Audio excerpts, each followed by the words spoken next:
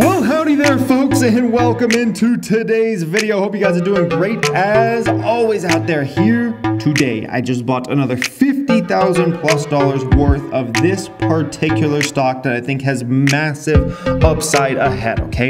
In this video, I'm gonna share with you what stock this is, okay? I'm gonna share with you exactly why I bought more today. Why not wait till next week? Why not wait till next month? Something like that. Why did I have to buy more of this stock here today? And the third thing is, I'm going to share some earth shaking news that came out around this stock that no one is looking at, okay? It actually came out in the conference call of this company. It was a little, like, little section, and almost nobody's picking up on this.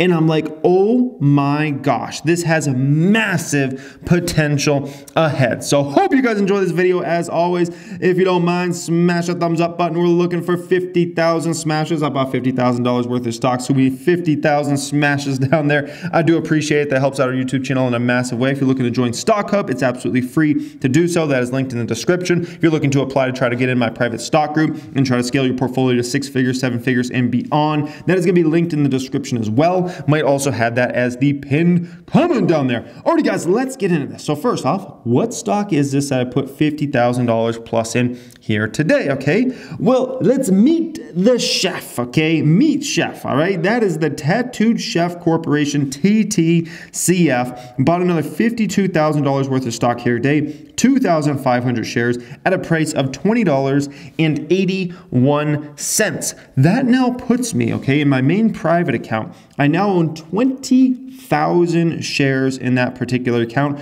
Those shares are worth $424,000 now in TTCF. So, needless to say, this is beginning to get to be like one of my bigger positions I have out there. It's becoming a very important stock for me for the long term, okay? And I'm not done buying it. I'm buying more, okay?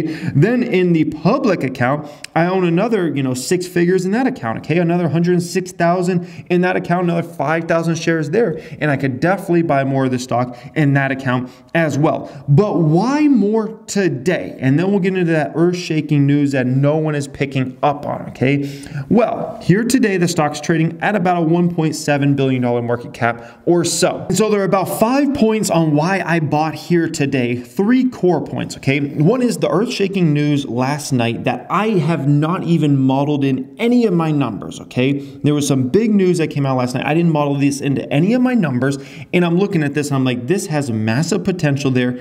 Uh, this, this makes me even more bullish than I've ever been on this stock, okay? So I'm like, before this kind of, you know, catches around Wall Street and fund managers really get a hold of this and really start to run numbers and figure out how big a potential this is, I'm like, I want to make sure I get a, even a bigger position in this stock before, you know, things start getting out. Let's just put it that way, okay? Number two, it's still under a $2 billion market cap. As long as the stock's under $2 billion, I'm buying, okay? Even under 3 billion, I think is really attractive as a long-term investor this company. I'm not thinking about this stock as, a, as of like next week, next month, something like that. I'm planning on holding this stock for years and years to go. I think this co company has literally massive growth. I think this is a type of company that's going to be a $5 billion, $10 billion type market cap in the future, if not bigger, okay? And so anything under 2 billion, I'm like, gimme, gimme, gimme. You want to sell shares under 2 billion? I'll be there to buy them, okay? Number three reason, they're already talking about in 2021 gross margins going to the 20% to 25% range.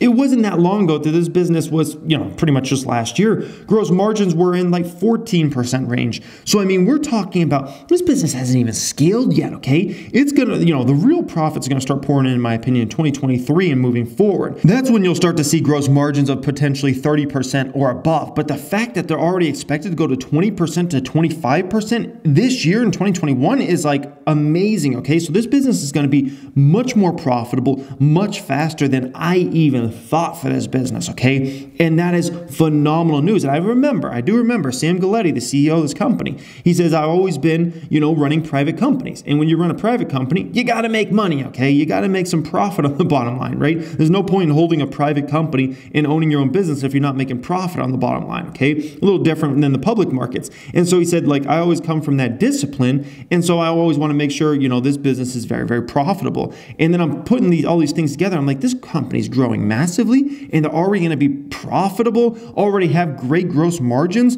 and this company is so young in terms of the Tattooed Chef brand. I'm like, this is amazing, okay? There's more than that, all right? Yesterday, this news came out, okay? This is not the earth shaking news, but this was great news.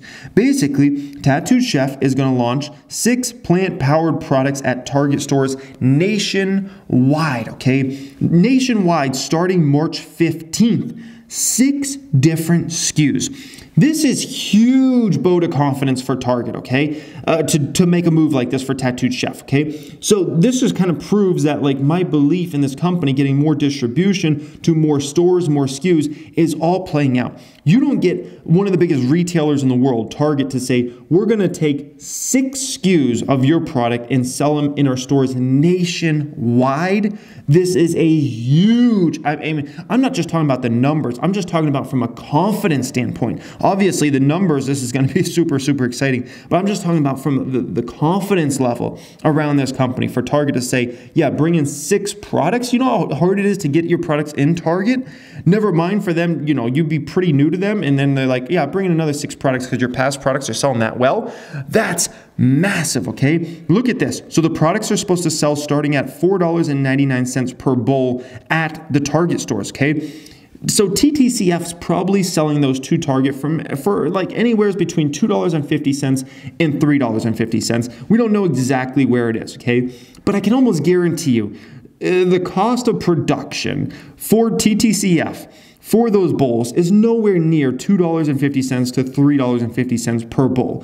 I would estimate the cost for production is somewhere between 75 cents and maybe a dollar and 45 cents, somewhere in there. So needless to say, I think the profitability is going to be huge, okay? Now you have other other costs and marketing expenses and things like that that maybe you have to tie in and different things like that, you know, obviously shipping, logistics, product returns. So, you know, it's not as beautifully, you know, profitable as some might think, but still, like needless to say, there's a lot of profit margin more than likely to be made there. And look at this, okay? So for instance, my local Target here, they, they carry two products.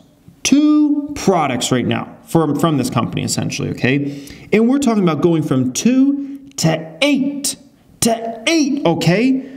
I mean, you're talking about your relevancy and your numbers go through the roof when you can go from two SKUs to eight SKUs like that almost almost overnight, right? The only two products at my local Target at the, you know, I'm, I'm at the Arizona house right now. The only two products right now is organic acai bowl, which I, I, know I never say that word right. I guess it's acai bowl, okay? I call it the acai bowl, okay? And then they have the cold brew and dark chocolate smoothie bowl. That's the only two products you can get at that Target right now. And now they're going to go to eight SKUs.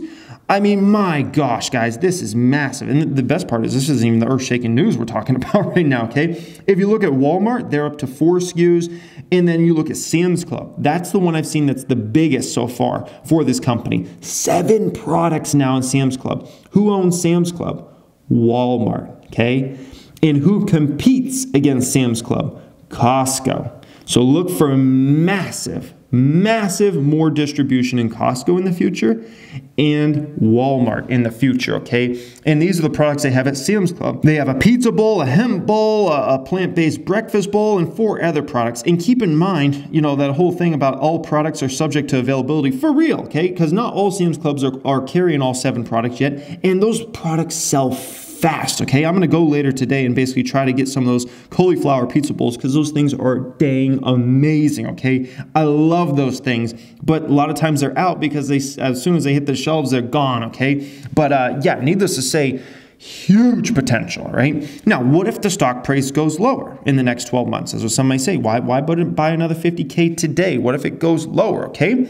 Well, if it goes lower, meet the buyer, okay? I will gladly buy any TTCF shares across the board that are being sold anytime soon over the next 6 to 12 months, okay? $15, give me it. $18, give me it. 21, 24, it doesn't matter, okay?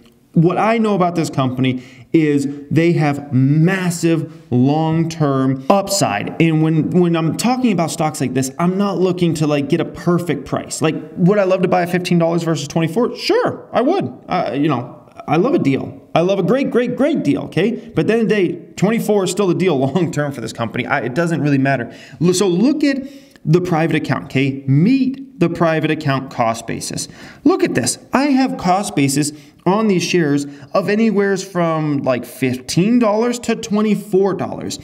And so anywhere I'm buying TTCF pretty much right now, okay? Especially as long as it is under $2 billion market cap. That's where I'm aggressively adding. If it's under 3 billion, okay, maybe I won't add as aggressively, but as long as it's under 2 billion, I will continue to add aggressively this stock. And this is what I do when it comes to investments that I really believe in for the long term. So if we look at the public count, my shares are in the public count of Tesla, look at all the different cost bases. It wasn't like I just bought that stock all in one day and that was it.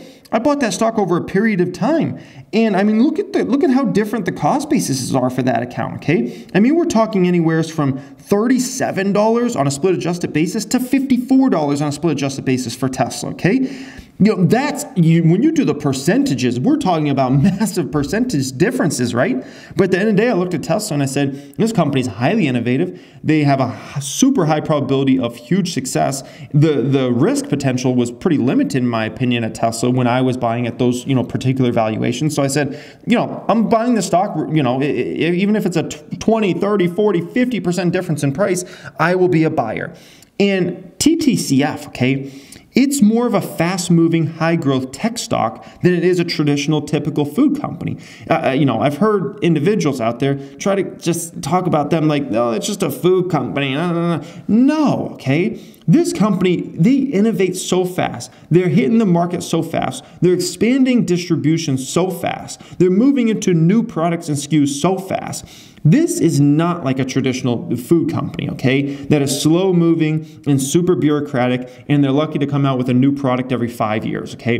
This company is like on it, okay? Move, move, move fast, okay? That makes this company special. And this is the type of company that always deserves to trade at a pretty big, you know, premium because they're always going to have this massive growth ahead, or at least for the foreseeable future, okay? And I remember, you know, obviously I'm an investor of Beyond Meat, okay? And I like Beyond Meat. And I used to think that was the fastest moving food related company.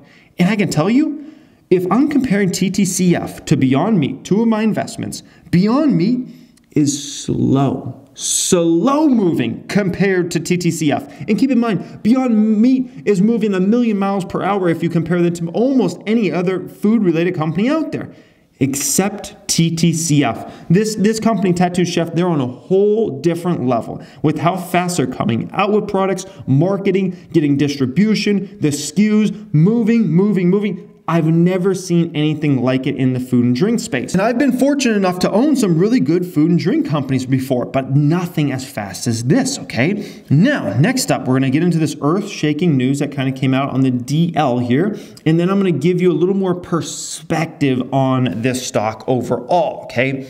So, whenever I've been doing my numbers for TTCF in the past, I've basically been, you know, uh, figuring that they're to get more stores and they're to, you know, in a few years, within the next, you know, two or three years, it's going to be hard to go in any grocery store or store in general and not find this company's products, okay? So more stores are coming. Obviously, international expansion over time, okay? More SKUs in the store. So just like we saw with Target going from two SKUs to, you know, now eight SKUs. Sam's Club started with one or two SKUs. Now it's up to seven. Walmart started with a couple. Now a lot of these stores up to four or six for Walmart, okay? So more SKUs coming. I, have you know, both, most of my numbers I've been doing for this company are only around if like freezer related products. Keep in mind, Tattoo Chef can go into many other verticals over time outside of just the freezer aisle, okay? But my numbers I've been doing just off the freezer aisle, okay?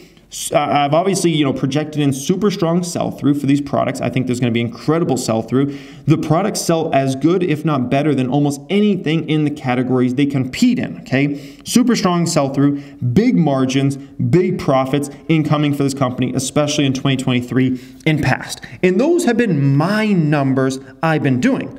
But from time to time, something better than expected happens, okay? Just something better than expected. And look at this, okay? This is a transcript of the conference call last night. And I was listening to this. And when I heard this, I said, What? I, I have zero dollars projected for this, okay?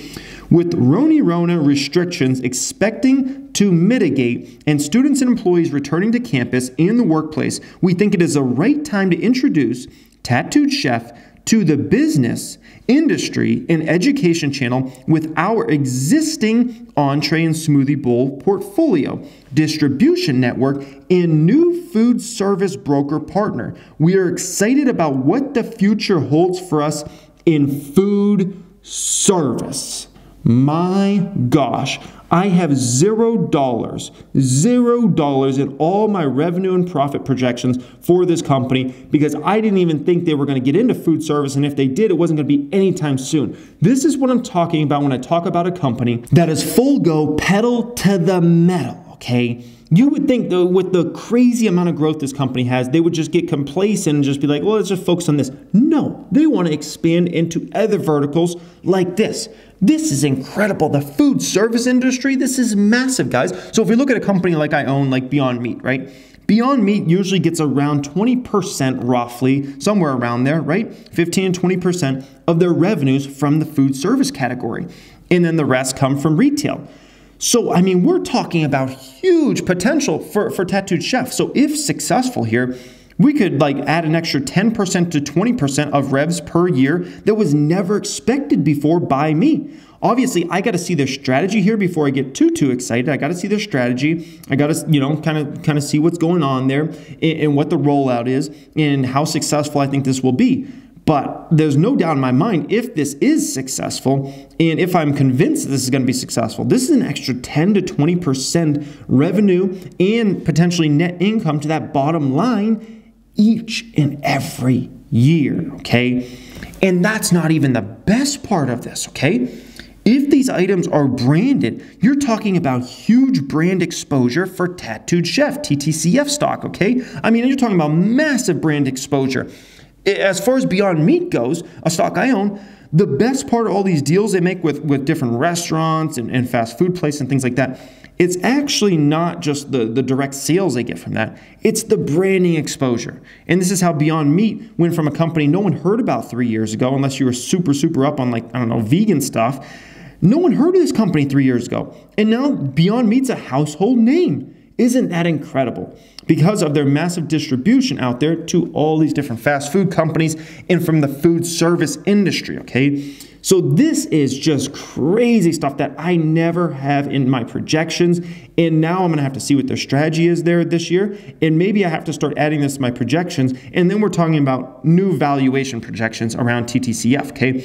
TTCF is a silly stock to try to time out, in my opinion. Like, oh, let me sell out of it. It might go down short term, and maybe I'll buy back in in six months from now, 12 months from now, 18 months from now, uh, or maybe I'll buy back in next week. It's a silly stock to try to do that with, in my personal opinion. First off, it's silly to do that with most stocks, but especially phenomenal growth companies that have CEOs in place that are exceptionally well. Okay, Sam Galletti running this company my goodness, he's a straight shooter, and this is a guy that eh, you know he's found the golden goose with this company. Okay, they're taking this one to the top. Him and him and Sarah Galletti. Let me give you an example of a company I bought many, many, many, many years ago. Okay, back when they were called Hansen's Natural Beverage, it was Monster Beverage Corporation. Okay, and I bought this stock and I bought a good position and it. was one of my probably top three biggest positions.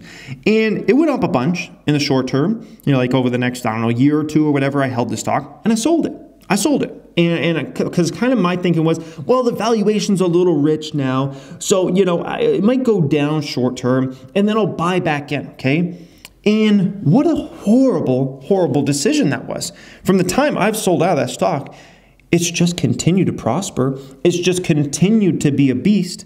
And even though they got into, you know, competitive situations with other companies and things like that, What's happened to the company? They've just gotten bigger and bigger and more successful over time. The management team there is phenomenal, their execution is phenomenal, and they just continue to be branding and marketing experts at that company. And, you know, it was a bad decision for me to ever sell that company. That's horrible. You don't do that with great growth companies that have great management teams in place, okay? And the thing is, as somebody that used to be invested in Monster, which was the best example I could ever find of a, of a phenomenal, like pedal to the metal uh, food and drink related company, I think TTCF might be a level up from Monster even. And that's when you say, oh my gosh, holy smokers, this ain't no dang jokers. Hope you guys enjoyed this video. As always, if you didn't already smash the thumbs up button, I would appreciate it. The whole channel appreciates it, okay? If you want to apply for my private stock group, learn all the strategies on how I find stocks, how I value stocks, how I run portfolios, be part of our private Discord chat, all those sorts of things. Hope to scale your portfolio to six, seven figures and beyond. That's to be linked in the description, but also have there's a pinned comment down there. And if you ever do join our private group and you get in there and you own TTCF stock, make sure you join us in, in the category called TTCF product picks at stores. Basically, all the members in there, every time we go to like grocery stores or like Walmart, uh, you know, Costco, not really grocery stores too much because TTCF is actually expanding in grocery stores in the back half of this year and in 22. But like Walmart, Target, Sam's Club, Costco, places like that, we always take pictures and post in there, and it's great to see kind of like like how these products are selling, what's distribution looking like across the United States of America. It's pretty sick, okay? Thank you for watching and have a great day.